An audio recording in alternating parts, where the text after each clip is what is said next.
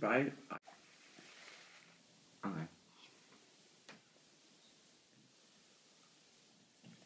I'm gonna leave one morsel on my plate, just like Nicola would.